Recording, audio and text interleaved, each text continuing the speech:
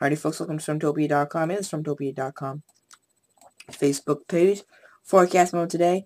Blizzard with snow being measured in feet pushing off to the east. We are of course looking at that being a problem for the northeast tomorrow. Uh, nothing really changed in our forecast since yesterday. Mostly rain for cities along the I-95 corridor with lake effect snow inland. Now Friday, looking like a complicated scene. Plowable snow in the north country. Whiteout conditions with snow that is 6 to 12 inches deep. We're talking easily well up, up to our shins uh, in places like interior Pennsylvania, western New York. I wouldn't be surprised if someone ended up with more than a foot. And then as we get into southern New England, gusty winds, heavy rain, cold and gusty on the backside in the southern and central mid-Atlantic.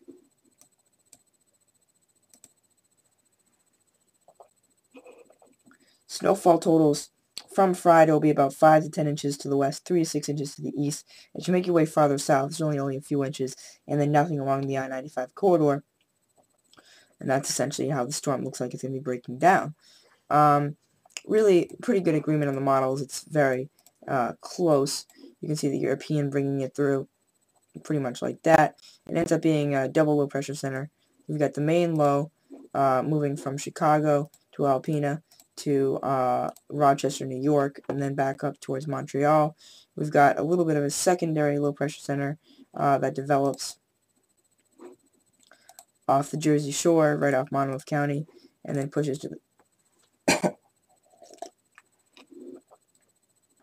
pushes to the north from there. But overall, it's just a big rainstorm for these folks, and a big snowstorm back in here.